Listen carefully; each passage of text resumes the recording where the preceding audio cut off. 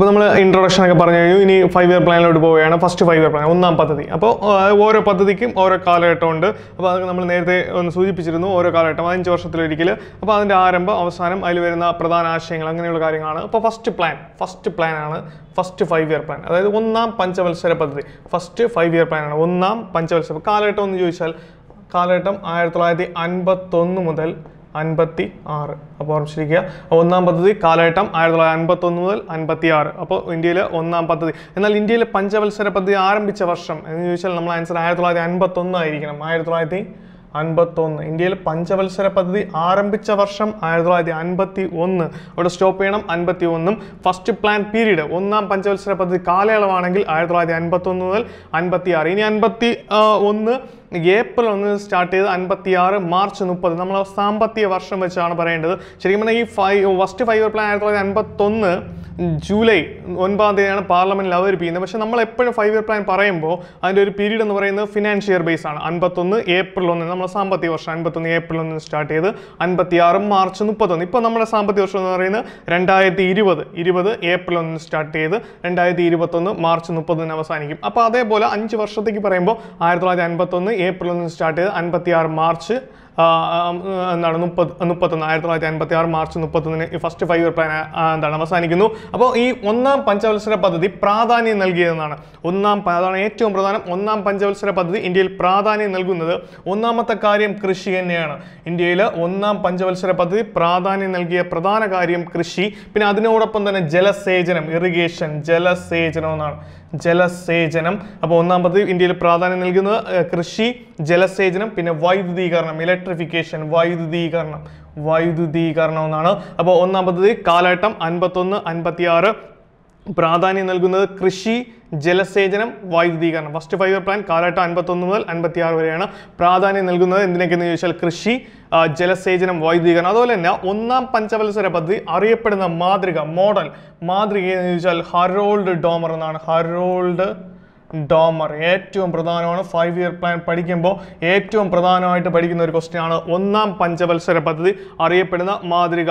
Harold and എക്കണോമിക്സിന്റെ പേരിലാണ് അറിയപ്പെടുന്നത്. Harold and Domar മാതൃക എന്നറിയപ്പെടുന്ന ഇന്ത്യയിലെ പഞ്ചവത്സര പദ്ധതിയാണ് ഒന്ന്. പ്രിയകുട ഒന്നാം പഞ്ചവത്സര പദ്ധതി അറിയപ്പെടുന്ന മാതൃകയാണ് ഹരോൾഡ് ടോമർ. ഏറ്റവും പ്രധാനം അപ്പോൾ ഒന്നാം പദ്ധതി കാലയളവ് അൻപത്തൊന്ന് മുതൽ അൻപത്തി ആറ് എന്നാൽ ഇന്ത്യയിൽ പഞ്ചവത്സര പദ്ധതി ആരംഭിച്ച വർഷം ആയിരത്തി തൊള്ളായിരത്തി അൻപത്തി ഒന്നാണ് ഇനി ഒന്നാം പദ്ധതി പ്രാധാന്യം നൽകുന്നത് ഒന്നാം പഞ്ചവത്സര പദ്ധതി പ്രാധാന്യം നൽകിയ മൂന്ന് കാര്യങ്ങൾ കൃഷി ജലസേചനം വൈദ്യുതീകരണം. ഇനി അറിയപ്പെടുന്ന മാതൃകയാണ് ഹറോൾഡ് ഡോമർ മാതൃക. ഇനി കഴിഞ്ഞ ഫയർമാൻ ക്വസ്റ്റ്യൻ ആണ്. അതായത് ഇന്ത്യയിൽ ഒന്നാം പഞ്ചവത്സര പദ്ധതിക്കായി മാറ്റിവെക്കപ്പെട്ട തുക എത്രയെന്ന് വെച്ചാൽ രണ്ടായിരത്തി അറുപത്തൊൻപത് കോടിയാണ്. രണ്ടായിരത്തി അറുപത്തൊൻപത് കോടി ഏറ്റവും കുറച്ച് തുക ഇന്ത്യയിൽ മാറ്റിവെച്ച പഞ്ചവത്സര പദ്ധതി ഒന്നാണ്.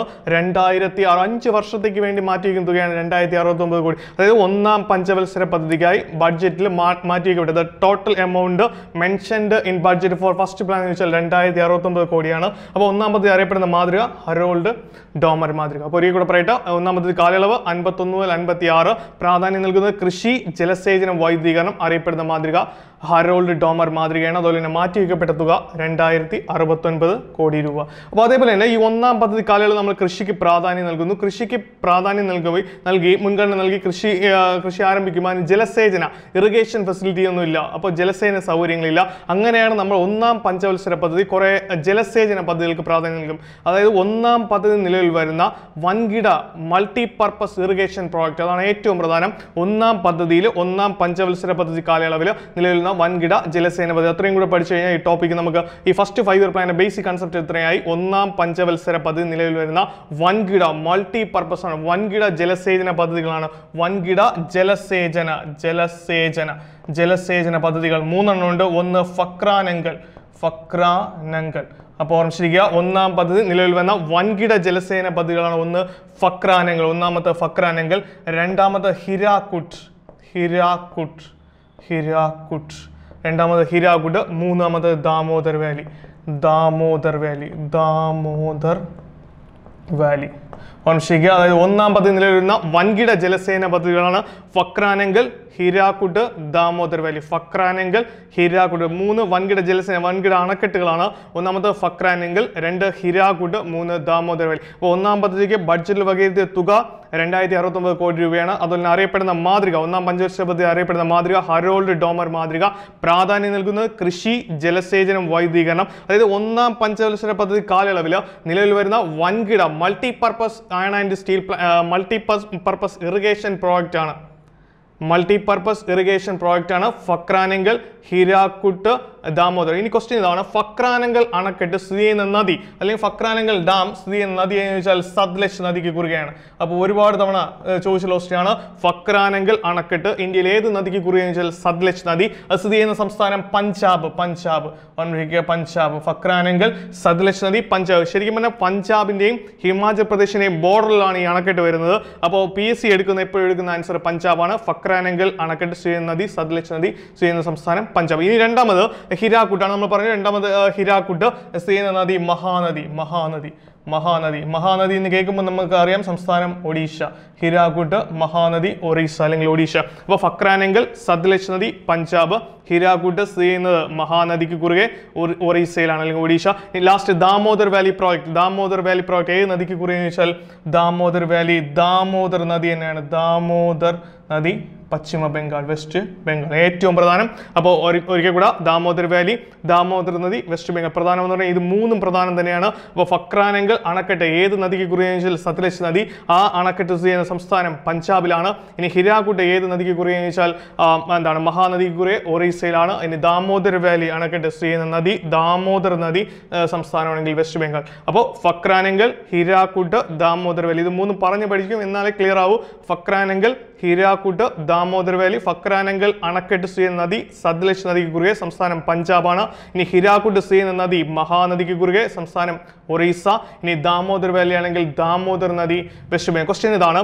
ഇന്ത്യയിലെ ഏറ്റവും വലിയ അണക്കെട്ട് ലാർജസ്റ്റ് ഡാം ഇൻ ഇന്ത്യ ഇന്ത്യയിലെ ഏറ്റവും വലിയ അണക്കെട്ടാണെങ്കിൽ ഫക്രാനെങ്കിലാണ്. ഇന്ത്യയിലെ ഏറ്റവും വലിയ അണക്കെട്ടാണ് ഫക്രാനെങ്കൽ അപ്പോൾ ഓർമ്മിച്ചിരിക്കുക വേറൊരു കണക്കായിട്ട് വന്നിട്ടുണ്ട്. പക്ഷേ പി എസ് സി ഇപ്പോഴും അവരുടെ ആൻസർ ഇതാണ്. ഇന്ത്യയിലെ ഏറ്റവും വലിയ ഇന്ത്യയിലെ ഏറ്റവും വലിയ നിലവിൽ ഇന്ത്യയിലെ ഏറ്റവും വലിയാണ് ലാർജസ്റ്റ് ഡാം ഇൻ ഇന്ത്യ എന്ന് വെച്ചാൽ ഫക്രാനെങ്കിൽ എന്നാൽ ഇന്ത്യയിലെ ഏറ്റവും നീളം കൂടിയത് ഇന്ത്യയിലെ ഏറ്റവും നീളം കൂടിയ അണക്കെട്ടാണെങ്കിൽ ഹിരാക്കുട്ട് ഇന്ത്യയിലെ ഏറ്റവും നീളം കൂടിയ അണക്കെട്ടാണെങ്കിൽ ഹിരാക്കുട്ട് ഇത് ഏറ്റവും വലുത് വലുതെന്ന് ചോദിച്ചാൽ ഫക്രാനെങ്കിലും ലോങ്ങസ്റ്റ് നീളം കൂടിയതാണെങ്കിൽ ഹിരാക്കുട്ടും ഇനി നമ്മൾ ഇത് ഇതുമായിട്ട് ബന്ധപ്പെട്ടില്ലാത്തതാണ്. ഇന്ത്യയിലെ ഏറ്റവും ഉയരം കൂടിയ ഹയസ്റ്റ് ഉയരം കൂടിയാണെങ്കിൽ തെഹരി എന്നാണ് തെഹരി.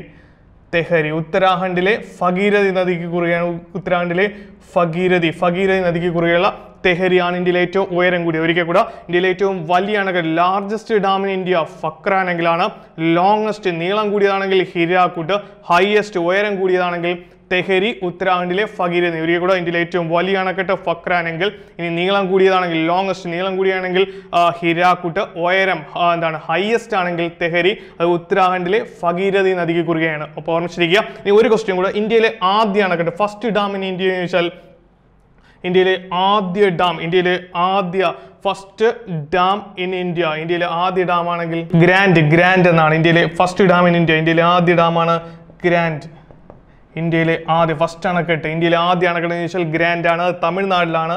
തമിഴ്നാട്ടിലെ കാവേരി നദിക്ക് കുറുകയാണ്. കാവേരി കാവേരി നദിക്ക് കുറുകെ തമിഴ്നാട്ടിലെ കാവേരി നദിക്ക് കുറുകെയുള്ള അതാണ് ഇന്ത്യയിലെ ഗ്രാൻഡ് അല്ലെങ്കിൽ കല്ലണ എന്നാണ് ആദ്യകാര പേര്. കല്ലണ കല്ലണ കല്ലണ കല്ലണ എന്നാണ് കല്ലണ. ഇന്ത്യയിലെ ആദ്യ അണക്കെട്ടാണ് ഗ്രാൻഡ് തമിഴ്നാട്ടിലാണ് കാവേരി നദിക്ക് കുറുകെ. അപ്പോൾ ഇന്ത്യയിലെ ഏറ്റവും വലിയ അണക്കെട്ടാണെങ്കിൽ ഫക്രാനെങ്കിൽ ഏറ്റവും നീളം കൂടിയത് ഹിരാക്കുട്ട് ഉയരം കൂടിയത് തെഹരി. ആദ്യത്തെ ആണെങ്കിൽ ഗ്രാൻഡ് അല്ലെങ്കിൽ കല്ലണ. അപ്പോൾ ഒരിക്കൽ കൂടെ പെട്ടെന്ന് പറയാം. ഒന്നാം പദ്ധതി കാലയളവ് ഒന്നാം പഞ്ചവത്സര പദ്ധതി കാലയളവ് അൻപത്തൊന്ന് മുതൽ അൻപത്തി ആറ് വരെയാണ്. അത് പ്രാധാന്യം നൽകുന്നത് കൃഷി ജലസേചനം വൈദ്യുതീകരണം അഗ്രികൾച്ചർ ഇറിഗേഷൻ ആൻഡ് ഇലക്ട്രിഫിക്കേഷൻ ഇനി അറിയപ്പെടുന്ന മാതൃക ഹരോൾഡ് ഡോമർ ഏറ്റവും പ്രധാന ക്വസ്റ്റ്യനാണ് ഇന്ത്യ ഒന്നാം പഞ്ചവത്സര പദ്ധതി. അറിയപ്പെടുന്ന മാതൃക എന്ന് വെച്ചാൽ ഹരോൾഡ് ഡോമർ മോഡൽ മാതൃകയാണ്. ഇനി ഒന്നാം പഞ്ചവത്സര പദ്ധതി കാലയളവിൽ മാറ്റിക്കേട്ട തുക രണ്ടായിരത്തി കോടിയാണ്. നിലവിൽ വരുന്ന വൻകിട ജലസേന പദ്ധതികളാണ് ഫക്രാനെങ്കിൽ ഹിരാക്കുട്ട് ദാമോദർ വാലി. ഫക്രാനെങ്കിൽ നദി. ഫക്രാനെങ്കിൽ അണക്കെട്ട് ഇനി സത്ലജ് നദിക്ക് കുറുകെയാണ് പഞ്ചാബിലാണ്. ഇനി ഹിരാക്കുട്ട് ആണെങ്കിൽ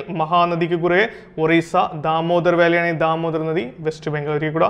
ഫക്രാനെങ്കിൽ ഹിരാക്കുട്ട് ദാമോദർ വാലി. ഫക്രാനെങ്കിൽ അണക്കെട്ട് സ്ഥിതി നദിയാണെങ്കിൽ സത്ലജ് നദി പഞ്ചാബിലാണ്. ഇനി ഹിരാക്കുട്ട് ആണെങ്കിൽ മഹാനദി ഒറീസ.